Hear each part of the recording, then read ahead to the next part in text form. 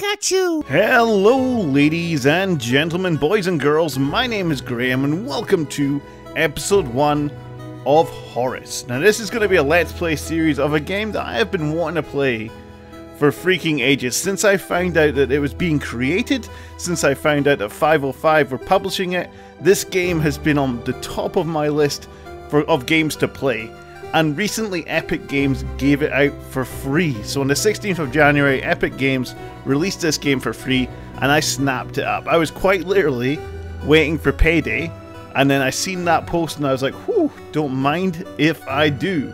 So Horace is a wonderful looking game. It's a pixel art game, so it really appeals to me. I'll just read out a brief description of it. So eccentric British humour blended with cinematic narrative that has never been seen before in platform adventure games.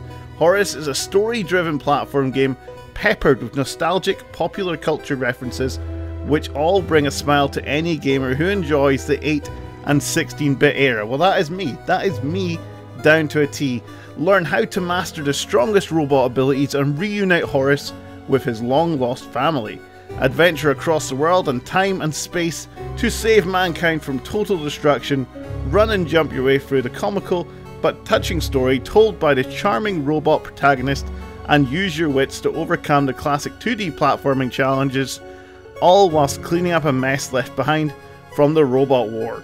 Experience tons of variety along the way with parodies of classic minigames ranging from rhythm action to FPS. Oh ah, man, this sounds so much fun. It's currently on Steam, it's on Epic Games, and it was actually developed by two people, a guy named Paul Helman and Sean Scaplehorn. This game was made by two people, guys. Two people!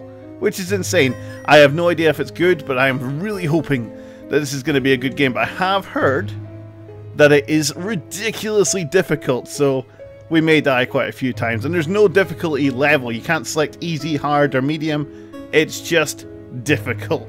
So here we go. We're going to start a new game.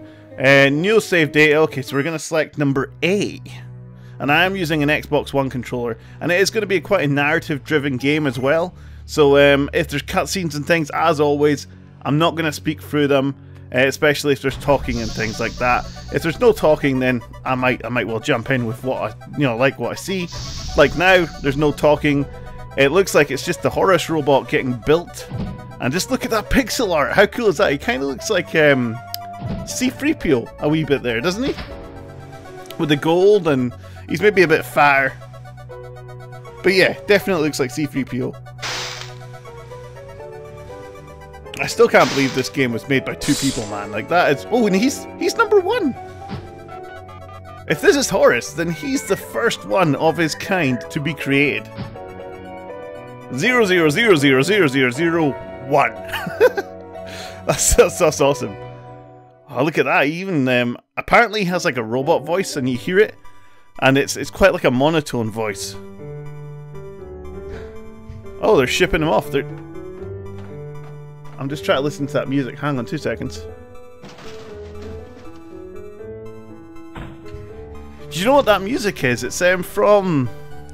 It's from that Robin Williams movie. Oh, no, it's not. It's from AI. Is it? Is it from AI?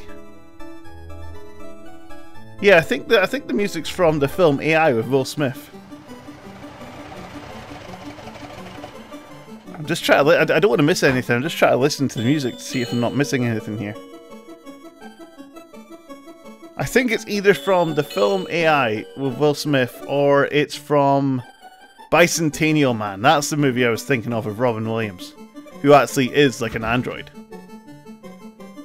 Horace Man 2.0. I can't believe they activated him and then just shoved him in a box. it's like, there you go, mate. We don't care about you. You're just designed for clearing rubbish. Ooh. We kind of... Ooh.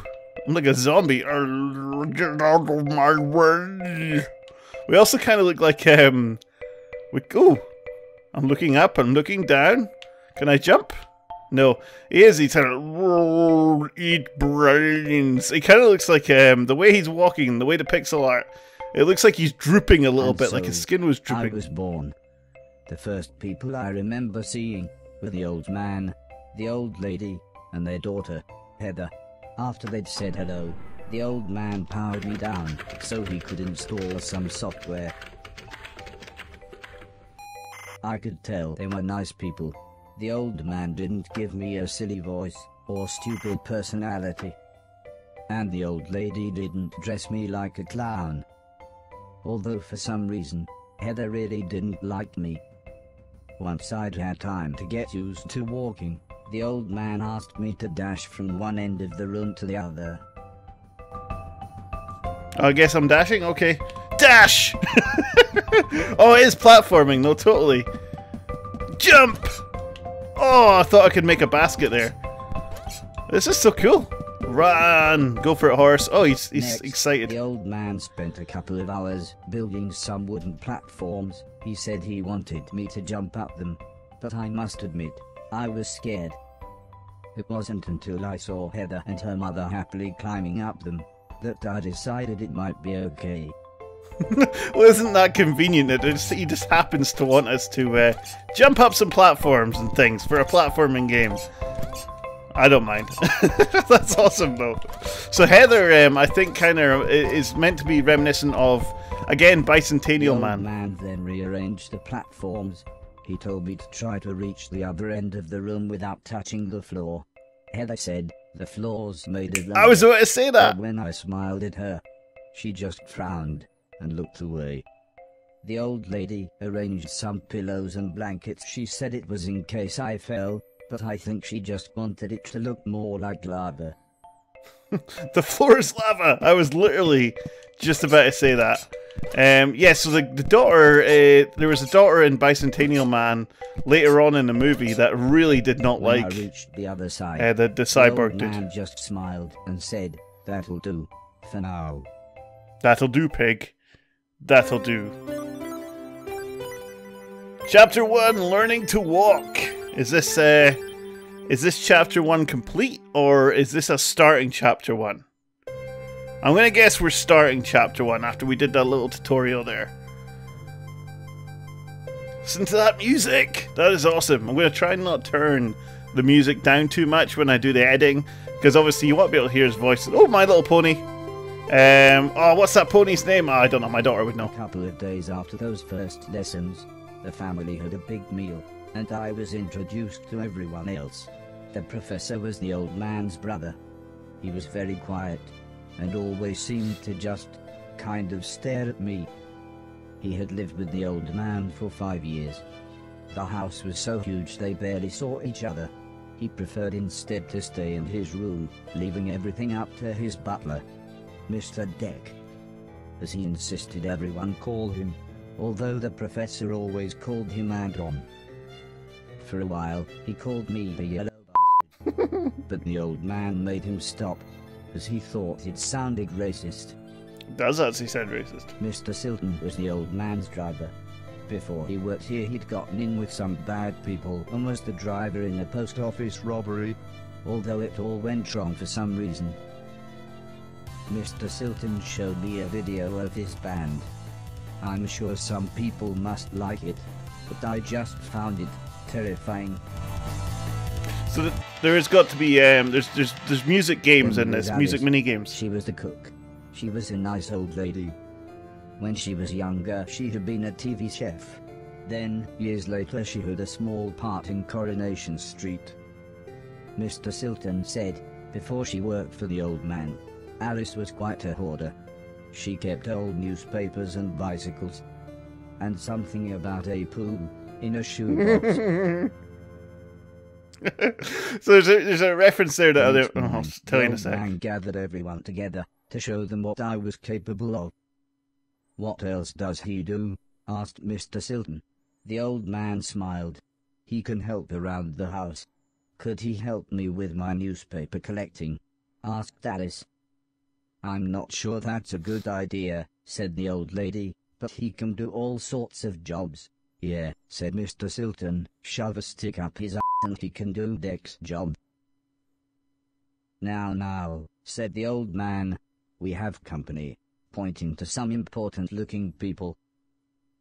Two large men, both called Gary, set up what the old man referred to as lasers. He said again, I should try to get from one end of the room to the other, but I shouldn't be worried, as I had a special chip which meant no matter how damaged I was, I couldn't die.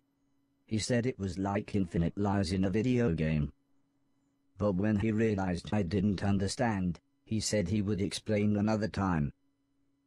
I like the little smile he just did, like Infinite Lives in this video game. It's like, ooh, smiles. Uh, there's a reference there that a lot of the American viewers might not get. Coronation Street, it's a British soap, um, kind of like Days of Our Lives. I know I don't know if it's anything like Days of Our Lives, but I'm just referencing that as a equivalent. But uh, yeah, it's a British soap. Uh, let's see if we can get through this. Whoa! It's not too difficult so far, but I have a funny feeling this game is going to be Everybody uh, difficult as anything. important-looking men. Not exactly a cold, calculated killer, is it? said the man in black. The man in grey laughed. What kind of artificial intelligence was that? he asked. Move right, unless there's something in the way. Okay, okay, said the old man. He turned to me and whispered, They're going to make it quite a bit tougher. But I'm sure you'll be fine. Damn right, we'll be fine. Damn right. We are going to rock this, man. You're my master. I will look after you. I will make sure that I do this to the best of my ability. Come on, and do, I'm curious as to what's over here. Can I can I jump over here? Yeah, yeah. I think I actually had to go over here. You know me, guys. I'm a, I'm a bit of an explorer. I'm a bit of an explorer. Um, so I'm trying to speak while doing this. It's not working very well. Yeah, so I'm a bit of an explorer, so I will try and explore in areas that I think I can't get to, or I think you shouldn't be going at that point, just to see if there's little, any little extras. I'm here! I got behind you, you punks! The Garys then rearranged the room one last time. The old man smiled. Now, now, there's no need to look so glum, he said. I'm still happy with everything you've done today. So this time, I was determined to do him proud. So he's a nice guy. He's a nice guy, and actually, Horace is demonstrating emotion, which is a bit odd for an artificial intelligence, unless they've designed him to be like that, which they didn't really explain. I don't know, but he did smile, so you know, that's something at least. Over here, Mr. Laser. There we go. I think. Oh, just jump over here. We're almost there. I'm going to try not jump too high because I don't want to jump straight into the electrics. Whoa, that was close. Am I there? There you go, Dad. Old man's friends actually seemed quite happy when I made it through. We might have a winner after all, said the man in black. It's no Killbot 3000, but you can almost see the fire in its eyes.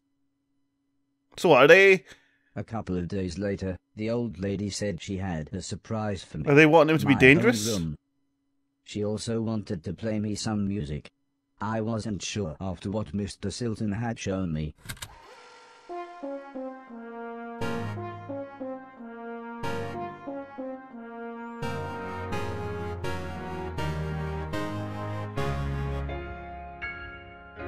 Oh, look at me, so happy. Whoa, whoops. I just pushed left As if and it paused it. amazing enough, the old lady then bought me a television set. I couldn't believe what I saw. I watched everything I could. Comedy, drama, horror, sci-fi. Absorbing, learning. Anyone wanted to watch, I would happily watch with them. Then one day, the old man set up a small box. He plugged some cables into the television and said, This is what I meant when I said video games. Yes, are we going to get to play our first minigame?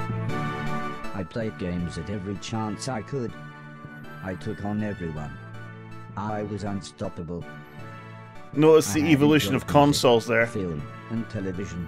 But to me, video games really were the highest art form. Is that uh, it's Pong? Uh, no, is that Pong? Yeah, Pong. And was that a PlayStation 4 he was playing it on, or was that like an old Atari? Table tennis for two. Oh, we're gonna get to play our first minigame. This is so cool. Let's go. X to start. So this is basically Pong. Oh, I love Pong as well. Oh, this is such a blast from the past. So this is. Oh no, he won. This is definitely Atari sort of video game generation. Ah, I scored a point. So it's the first of three. I'm gonna I'm good at these. I used to I used to be ace at No, you have to be really you have to be really on it. I do not want him to win. Do not win. Do not whoa! You need to, where's the hitbox? where's the hitbox on this thing? So I don't think it's gonna let me uh, get past this until I win. But the hitbox is like you have to be really in the middle. So I need to be honest. I need. To... Come on. We're one point. Has he got one point or have we got one point? I think he's got one point. This is so difficult. It doesn't look difficult, but when you're using a joystick um, on your just with one thumb, it's quite difficult. Oh no, we can we can score. Okay, go. I'm getting used to the hitbox now. I kind of know where I've got to hit it, so I, th I think we're doing all right. I'm just kind of wondering if we if we win one game, is that it for this one? Two points. Okay, we just one more. Two love. No, yeah, two love. I don't know how tennis works. I did read a story about tennis player the other day asking a ball girl to uh, to peel his banana. Apparently, this was not a thing to do. I don't know. Right, we're almost there. Oh, that was close. That was very close. Can I put a spin on it, or is it quite literally just... There we go, I won a game! Yes! Heather's birthday was a couple of months later. Her mum and dad had bought her a camera and arranged a day out by the sea so that Heather could take some photos, although I really don't think she wanted any pictures of me. Aww. When the old man asked the professor if he wanted to go, he frowned and said, I can't believe you want to spend time with that thing. It could destroy the world. I wasn't sure what he meant, but the old man just smiled and said, That's what you said about the Game Boy. Anton, how about you? I don't think so, said Mr. Deck. The last time I got in that car, Barry crashed us into a branch of Woolworths. British shop. I never would have gone into Woolworths of my own accord.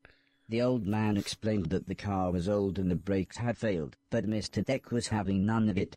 So Mr. Silton drove, and Alice came along for the fresh air.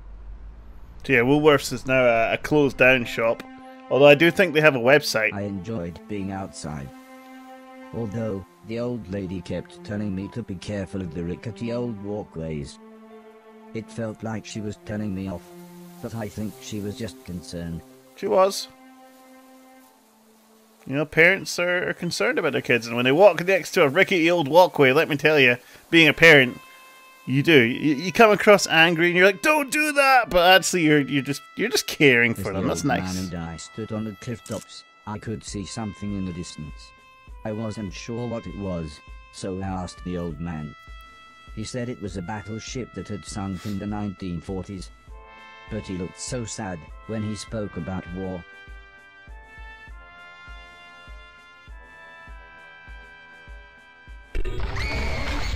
I didn't see what happened, but the metal platform Heather was climbing on had collapsed. No, Heather. even if the rocks she was on looked very dangerous.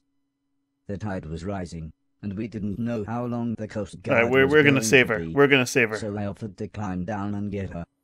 The old man agreed, but said I should be careful, as Heather doesn't have infinite lives, like I do. Right, Horace, come on, man. We've got this. This is our chance to win Heather over. Whoa, Sonic style. Okay. Woo! I'm going quite speedy here. I don't know why. what? Oh, we got this. Let's go and save Heather. Let's win her over. We'll become best friends and we'll get married. I don't know. That's what happens in um, Bicentennial Man. Spoilers. Right, Heather, we've got was you, son. Or and Her leg was broken, so I picked her up as gently as I could. I decided it would be best if I didn't run the rest of the way. Makes sense, right? I mean, she, she's injured. Where did all these cables come from? Dangerous. Yeah, those kind of remind me of, you know, in, in Sonic when you ran over the blocks and they would disappear underneath their feet. I mean, I know Sonic's not the only game that does that, but those ones specifically, and the way they fall really remind me of Sonic. Let's time this actually, because we don't want to run too quickly. So we can't run, because what did they say? Broke? She broke her leg?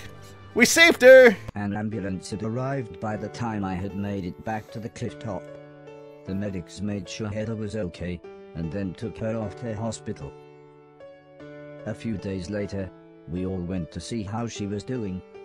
She was fine, but would have to wear the cast for a couple of months. Oh, they're they're friends now. They'll be best friends. She'll grow up, and as I say, they'll he'll turn human, and they'll just get married. That's what'll happen. Robot saves local girl. Mechanical man to the rescue. Hero robot. Hero bot. Hero man.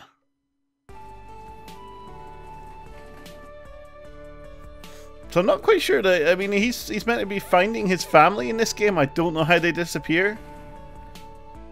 Maybe he gets shut down or something like that. But look, they're now playing together. They're really good friends. He's kind of like a kid himself, really, isn't he? Doctor's like, yeah, mate, you did a good job. And now look, she's all better. To know me, we became good friends. We enjoyed the same films and TV. She was also annoyingly good at some of my favorite games. After a while, she became very interested in how I worked. Soon she knew as much about me as the old man did, if not more.